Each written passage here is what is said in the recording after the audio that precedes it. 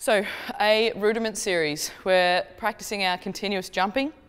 We're talking about contact time. So a really quick contact time is where we basically spend very little time on the ground. So it looks a bit like that. Long contact time is where we really land, stick, reset and go again. We want to aim for about 60 to 70% in this and we're going to do 10 jumps forwards, 10 jumps lateral, backwards and then lateral again. We'll start back here. so